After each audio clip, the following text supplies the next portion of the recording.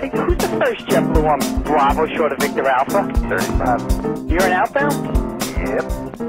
Hey, you guys should come up here one day. JetBlue 35 needs you to... So what exactly is wake turbulence? Wake turbulence forms behind an aircraft as it passes through the air. It's particularly dangerous during the landing and takeoff phases of flight for a few reasons. Partly because at these low speeds and high angle of attacks, the vortices coming off the wingtips tend to be especially dangerous. So how can we better avoid wake turbulence? On takeoff and climb, it's important to rotate before the preceding airplane's point of rotation and to stay above that airplane's climb path.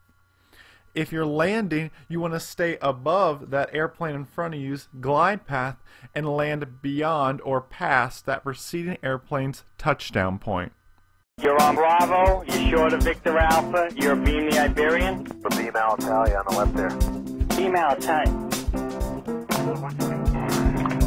All right, just hang on.